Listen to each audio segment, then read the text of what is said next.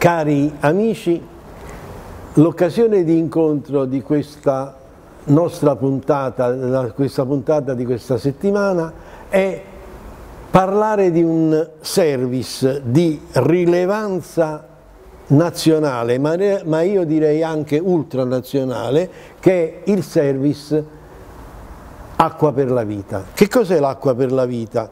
È una onlus del, del multidistretto 108 Italy che si interessa di aiutare le popolazioni bisognose che hanno bisogno dell'acqua. Ed è qui con me, gradito ospite, Franco Maisto, generale, il quale fa parte e del, come consiglio di amministrazione della Onlus Acqua per la Vita ed è anche il delegato del governatore per questo particolare settore. Ecco Franco, incominciamo a parlare come nasce e quando nasce questo service e che rilevanza ha a livello tu dici, potresti dire nazionale, io penso che il livello è internazionale. Ecco. Sì, Acqua per la Vita è un service di rilevanza nazionale, è nato uh, alla sede a Genova, è nato nel 2004 eh, per iniziative di un gruppo di Lions. Eh, lo scopo principale era, è quello della tutela dell'ambiente, in particolare quella delle risorse idriche sia in campo nazionale che, che internazionale. Ehm, questa associazione eh, è portata avanti nel tempo eh, la realizzazione di pozzi di acqua potabile eh, individuando i paesi più bisognosi nel mondo, eh, con particolare riguardo, riguardo oh, l'Africa. Ecco, quali sarebbero allora, se non ricordo male, il principale paese nel quale ci si impegna è il Burkina Faso. Perché proprio il Burkina Faso? Il Burkina Faso perché il paese, è uno dei paesi più poveri al mondo, eh, è, un, è, un, paese eh, con un reddito pro capite eh, poco superiore ai mille dollari, eh, con un'aspettativa di vita eh, che non supera i 60 anni e ehm, privo di sbocchi al mare ecco, e, questo, anche, anche questo è importante. Di risorse, di risorse idriche. E la nostra associazione, la Olus Acqua per la Vita, ha realizzato in, eh, proprio in questo paese eh, oltre 130 pozzi di acqua potabile soddisfacendo nel tempo esigenze di oltre 500.000 persone. Ma voi in effetti siete anche collegati con altre associazioni benefiche che si interessano di questo? Sì, eh, nel congresso mh, nazionale di Genova mm. eh, è stato approvato da parte del, di questo congresso il progetto per i paesi nel bisogno mm e, ehm, ovvero progetto Italia per paesi nel bisogno e tale progetto eh, comprende ben quattro associazioni OLUS, la, una di queste è OLUS Acque per la Vita, poi c'è il Centro Italiano per la raccolta del, degli occhiali usati, il, i Lions italiani con i bisogni, con i, per i bambini in bisogno e ehm, tra l'altro anche eh, la SOSAN che è la solidarietà eh, sanitarie che anch'essa una... Ecco sì, noi della SOSAN abbiamo parlato in un nostro, in un nostra, uh, in un nostro servizio di qualche settimana fa perché c'è l'operazione dello screening per i bambini per la ricerca anticipata, per la scoperta anticipata dell'ambliopia per esempio. Allora torniamo a questa benemerita Onlus Acqua per la Vita, il cui presidente è allora, eh, il presidente attualmente da un anno, sì. circa da maggio dell'anno scorso, è Franco Sami. Però quello che lo... Il mio saluto, ecco. il mio saluto però eh, il leader di questa associazione eh, eh, è senza dubbio Pier Manuelli, eh, che è tra l'altro passa governatore come lo è anche lo stesso Franco, Franco Sami E, mh, Piero Emanuele veramente ha dedicato oh, mh, massimo impegno in questa Olus, andando più volte in Africa di persona, e, tra l'altro è riuscito anche a um, stipulare con l'Università di Genova uh, un accordo, un protocollo eh, quindi coinvolgendo l'Università di Genova in questo, in questo service eh, in, e eh, recandosi in questi paesi, in particolare in Burkina Faso, eh, soprattutto per cercare di, e di fare formazione chiaramente ehm, alle popolazioni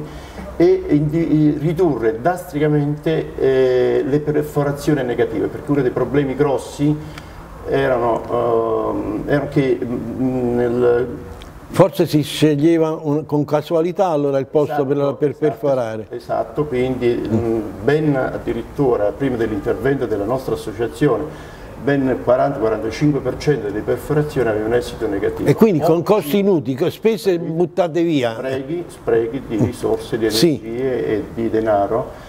Oggi eh, abbiamo azzerato questo gap. Bellissimo. Quindi, in effetti le perforazioni, grazie a questo protocollo, grazie alla formazione, grazie ai macchinari eh, portati in collaborazione con l'Università di Genova mm. eh, si è ridotto a zero eh, il, um, le, le, perforazioni negative, quindi la perforazione ha esito positivo. Quando poi viene individuato e costruito il pozzo, poi a chi viene affidato? Allora, allora in, ovviamente c'è inizialmente un accordo uh, con i governi Necess con, obbligatoriamente. obbligatoriamente. per avere accesso in questi paesi, sì. per poter operare in questi paesi, ci sono dei protocolli con uh, quello che possiamo definire il corrispondente Ministero dell'Agricoltura italiana mm. e eh, poi ci si rivolge nella maggior parte dei casi eh, alle missioni cattoliche anche perché le missioni cattoliche assicurano eh, la manutenzione eh, di questi pozzi. Che è importante. Che è importante chiaramente, altrimenti eh, questi pozzi poi chiaramente avrebbero un esito oh, negativo nel tempo, senza un'adeguata, un'adeguata manutenzione. Vedi, io ricordo che ne abbiamo parlato proprio recentemente insieme, che nel 1990 c'erano ben 3 miliardi di persone senza acqua. Anche per questa opera meritoria di Onlus come Acqua per la Vita e anche di altre Onlus, questo numero è diminuito? È ridotto drasticamente, eh, si parla oggi di circa 800 milioni, dai 3 miliardi, è un bel salto. del 1990 eh, si è sceso a un valore molto, molto più basso. In verità questo problema dell'accesso all'acqua potabile se l'è posto anche, eh, poste anche le Nazioni Unite. Sì. E, ehm, e il loro obiettivo era appunto oh, ridurre eh, almeno del 50% nell'arco di 15 anni eh, il numero di persone eh, a cui veniva interdetto l'accesso, a cui viene interdetto l'accesso all'acqua potabile. Anche perché in effetti una ricerca attenta e intelligente delle risorse idriche permette anche di, la creazione di posti di lavoro. Ovviamente eh, l'acqua che eh, possiamo dire senza ombra di dubbio è la vita, è vita, sì. è, vita, è l'elemento fondamentale della vita, ma non solo umana, anche degli animali e anche vegetali, quindi senza l'acqua il mondo eh, sarebbe di tutt'altro tenore, di tutt'altro sì. avviso. L'acqua è fondamentale. Ehm, l'accesso all'acqua potabile, eh, oltre chiaramente a soddisfare le esigenze umane, eh, soddisfa le esigenze degli animali, ed è un grossissimo aiuto anche all'agricoltura eh, che chiaramente poi diventa fonte di eh, sostentamento per le popolazioni. Eh, come dicevamo prima, in questi paesi, che poi non è solo il Burkina Faso, paesi in cui opera la ONU, Sacco per la Vita, eh, ha realizzato pozzi anche in Ruanda, eh, acquedotti in Ruanda, ehm, addirittura anche delle Filippine, eh, quindi è un OLUS che opera ad ampio spettro. Ecco, quindi io ho sentito, ora tu hai usato una, un termine che mi colpisce che Cioè, tu hai, anche, hai usato anche la parola acquedotti, cioè non ci si limita esclusivamente al pozzo in sé per sé, ma dove è possibile si crea anche un vero e proprio acquedotto. Sì, sì. al momento fino ad oggi sono stati realizzati due acquedotti di diversi chilometri, sia in Tanzania sia in Ruanda. Eh, tra l'altro in passato ci siamo preoccupati anche eh, del trasporto dell'acqua perché come un po' tutti noi sappiamo eh, in questi paesi eh, le persone erano costrette a trasportare eh, sulle proprie spalle o in testa addirittura eh, il recipiente con l'acqua. Eh, una delle cose che la Olus Acqua per la Vita um, ha fornito a diversi villaggi si chiamavano rototaniche, cioè dei contenitori che venivano tirati con un, un, un, un'asta e quindi facilitavano anche il trasporto dell'acqua dal pozzo, dalla fonte dell'acqua alla propria abitazione. Quindi anche questo è importante. Quindi influita anche in sì. questo, uh, la nostra associazione anche in questo ha dato un grosso contributo a alleviare eh, le sofferenze eh, della popolazione, di queste popolazioni.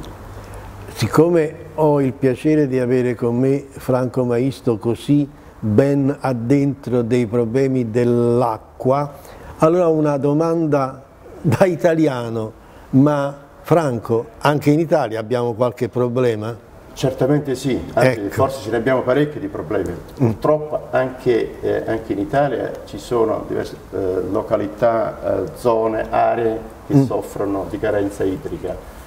Eh, e questo è un problema che secondo me ehm, dobbia, che dovremmo affrontare, eh, forse non tanto come come, eh, come associazione Lions, ma proprio eh, da parte delle istituzioni. Eh, è arcinoto il fatto che abbiamo delle condutture eh, che, perdi, che, hanno delle grosse perdite, quindi si fa... Eh, si spreca. Si, ecco, sprechi sì. sia perché eh, gli acquedotti che sono datati non ricevono magari una manutenzione adeguata. Come pure secondo me eh, andrebbe sensibilizzata, anzi va sensibilizzata la popolazione anche nell'uso parsimonioso dell'acqua e non evitare sprechi. Teniamo presente che nel 2013 c'è stato un uh, convegno uh, a Bonn mm. di circa 500 esperti idrici di tutto il mondo che hanno ipotizzato uno scenario piuttosto preoccupante per l'umanità cioè secondo questi esperti eh, nell'arco di due generazioni la metà della popolazione eh, mondiale potrebbe avere grossi problemi di accesso all'acqua potabile. Quindi eh, come è giusto che sia, prevenire è meglio che curare, secondo me le istituzioni in testa in primis e, ma anche tutti quanti noi, dal primo all'ultimo dei cittadini, dovremmo preoccupare di, eh, di non sprecare, non questo, sprecare questa non cosa sprecare. preziosa. Noi parliamo sempre della preziosità del, del, del petrolio, del diamante perché eh, va, la vera ricchezza è l'acqua. Noi eh, eh, in passato, no, soprattutto in passato, avevamo forse un po' fra virgolette di invidia verso i cosiddetti paesi petroliferi. Mm eh, grazie al petrolio si sono arricchiti, ma grazie all'acqua si vive. Ecco. Quindi secondo me è un valore molto, uh, è una cosa da curare veramente uh, con, da parte di tutti, tutti quanti noi ci dobbiamo impegnare a, che questo elemento fondamentale per la vita uh, non venga mai a mancare. Um, Penso chiunque di noi si è trovato almeno una volta nella vita ad aprire il rubinetto e, e, mancava l'acqua. Si è sentito perso? Sì, si è andato in crisi. Sì. Ecco, e immaginiamoci allora queste popolazioni africane esatto. e immaginiamo che cosa darebbero per un goccio d'acqua e allora ecco la Onlus e allora leggevo tra le note che l'Onlus Acqua per la Vita ha mandato in preparazione di, questa, di questo incontro televisivo che il Burkina Faso ha concesso il consolato onorario per la Liguria al past governatore Piero Manuelli. Ecco, è il We Serve interpretato nel vero senso della parola, è vero Franco? Io sì, certo, eh, io penso che Pier Emanuele meriti, meriti veramente tutto l'apprezzamento della nostra associazione, eh, ovviamente anche di tanti soci di questa associazione che si impegnano uh, in questo settore uh, meritano un applauso, ma Pier Emanuele in primis perché ci ha creduto, perché si è impegnato, continua a impegnarsi, tra l'altro ehm, è stato eh, nominato come eh, delegato multidistrettuale in un nuovo comitato, che è un comitato europeo. Ah, che si interessa? Si interessa eh, e della possibilità di accesso all'acqua, quindi di eh, diciamo, realizzazione di pozzi e del problema dell'igiene anche quello fondamentale, sempre però collegato con l'acqua, diciamo la verità. E poi anche della formazione della popolazione. Vorrei spendere due parole a riguardo sì. oh, del, di questo problema dell'igiene. La mancanza dell'acqua produce eh, una grossa, gravi danni. Noi abbiamo, abbiamo avuto in passato, nei villaggi in cui mancava l'acqua, un grosso indice di mortalità infantile, proprio perché la mancanza di acqua crea problemi gastroenterici, crea problemi di igiene e, eh, e, quindi punto in molti casi purtroppo anche il decesso addirittura in tenera età. In tenera età. Quindi l'acqua è utilissima e fondamentale anche eh, questo, da questo punto di vista. Ecco perché il nome è sintomatico, acqua per la vita, per la vita. E allora, in conclusione di questa nostra chiacchierata, una domanda, Franco, che cosa in aggiunta a questa benemerita Onlus inserita ormai a livello diciamo eterno perché è un service che permanente. permanente. permanente, nelle attività dei Lions, però ogni singolo club, ogni, che cosa può fare di più per aiutare questa onlus? Io in verità dico, provo grossa soddisfazione oggi nel constatare da parte del nostro distretto, che comprende come tutti sanno tre regioni, la Campania, la Calabria e la Basilicata, una maggiore sensibilità. Mm io mi sono interessato di, questo, di, questa problematica da diversi anni a questa parte e notavo in passato, parlo di oltre una decina d'anni fa, una certa riluttanza mm. eh, e sul problema dell'acqua e eh, sul discorso perché eh, ci preoccupiamo di paesi di altri continenti e non del nostro. Oggi devo dire, veramente con grande soddisfazione, che c'è una sensibilità notevole eh, molti club partecipano a questo service, molti club si attivano con iniziative per eh, procurarsi contributi che poi eh, inviano alla ONLUS che a sua volta li utilizza per la realizzazione di queste opere che abbiamo detto in precedenza. Eh. Quindi veramente ecco, l'invito che io faccio e ehm, un'ulteriore eh, sensibilizzazione da parte eh, di tutti i Lions su questa problematica. L'acqua è un bene indispensabile e quindi attiviamoci tutti. tutti. Basta vedere le fotografie che eh, girano girano in questa nostra trasmissione quando viene consegnato un pozzo o qualcosa che riguarda l'acqua a queste popolazioni, basta vedere le facce contente delle persone per dire ho fatto qualcosa di buono. Ecco, e con questo auspicio anche con questo invito che, che facciamo ai club di tener conto nella loro progettualità anche di aiutare la Onlus Acqua per la Vita che Elio Fusco vi saluta e con Elio Fusco vi saluta Franco Maestro. Grazie, grazie, buonasera.